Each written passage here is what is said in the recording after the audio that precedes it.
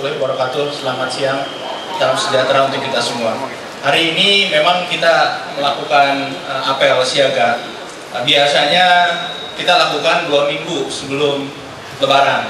Namun kali ini kita lakukan seminggu setelah dimulainya puasa.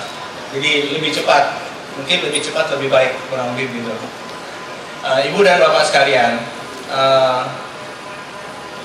apel ini dilakukan untuk uh, teman-teman uh, mulai jalan, terutama dari perusahaan ataupun operator seluler, melakukan drive test. Drive test dilakukan sepanjang jalan jalur mudik yang dilalui oleh para pemudik. Jalan tol, jalan tol yang baru, apa pun uh, jalur kereta api di Pulau Jawa, juga di Sumatera bagian selatan, dan di Sulawesi bagian selatan kalau tidak salah. Ya uh, ada beberapa yang hal yang dilakukan. Pertama dilakukan drive test. Drive test ini dilakukan tes kualitas jaringan dengan beban tertentu sepanjang jalan yang tadi saya sampaikan. Juga yang kedua tes dilakukan adalah stationary test. Stationary test itu dilakukan di daerah-daerah kerumunan tertentu. Di sini yang akan dilakukan tes di daerah kerumunan itu di entry point seperti di airport terutama.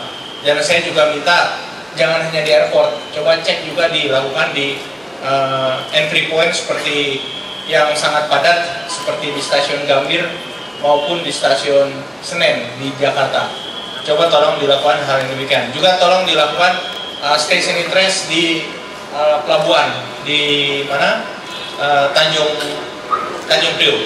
Jadi semua kira-kira yang merupakan entry point atau gate untuk keluar maupun masuk para pemudik dilakukan uh, tes. Nah, uh, juga nanti teman-teman dari Orari dan Rapi juga seperti biasa melakukan tes. Kalau Orari dan Rapi sih setiap hari memang selalu berkomunikasi di udara, ya.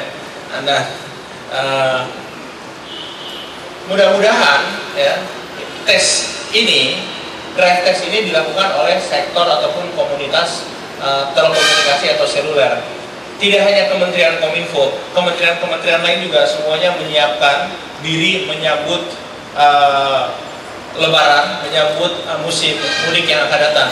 Seperti teman-teman dari tetangga kita di sebelah Kementerian Perhubungan, ya mereka menyiapkan transportasi bagaimana mengangkut uh, pemudik secara massal bahkan ada yang gratis.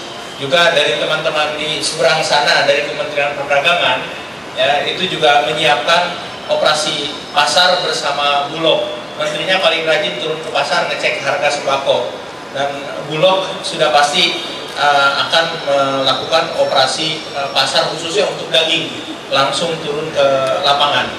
Uh, di depan dan di kiri dan perdagangan dan perhubungan mereka melakukan uh, juga semacam uh, memulai suatu konsep bagaimana mengangkut Uh, sembako ke daerah-daerah timur menggunakan uh, jalur maritim. Jadi semua upaya yang dilakukan oleh pemerintah untuk memberikan kemudahan sebetulnya bagi masyarakat dalam rangka berlebaran nanti. Ya, jadi kembali kepada sektor uh, komunikasi uh, TIK, saya ucapkan selamat melakukan tes, drive test, lebih baik kan tes lakukan sebanyak-banyaknya. Ini yang di lapangan, tentunya di back office di sentral, di switching kapasitas juga ditambah. Ada yang nambah 50%, ada yang nambah 100% tentunya berbeda-beda apakah itu kapasitas switching? Ya, sekarang sudah bicara lagi bicara mengenai data ucapan selamat lebaran dan lain sebagainya tidak lagi dalam bentuk teks SMS tetapi sudah dalam bentuk OTP dan lain sebagainya.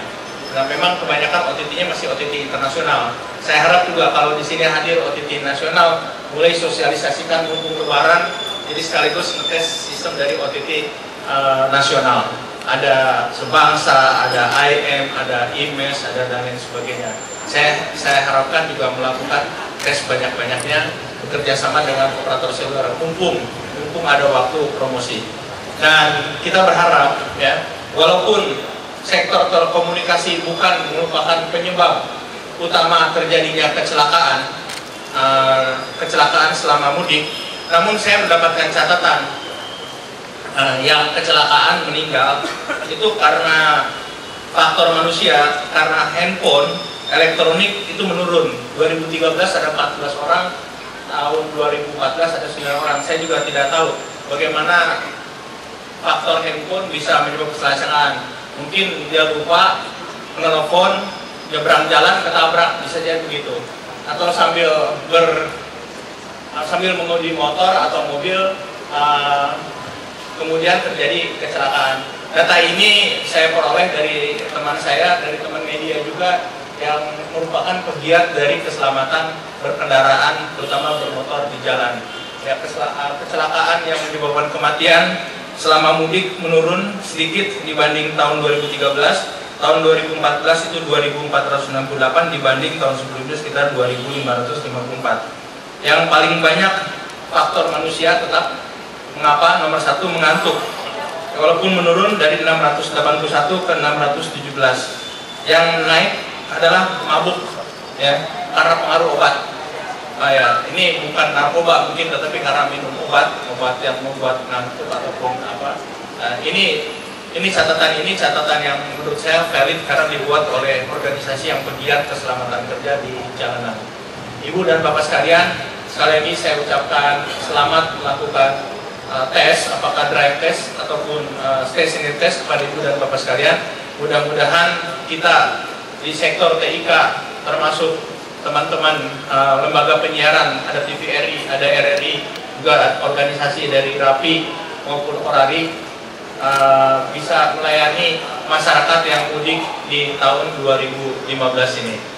Demikian uh, barangkali sambutan dari saya. Uh, wassalamualaikum warahmatullahi wabarakatuh.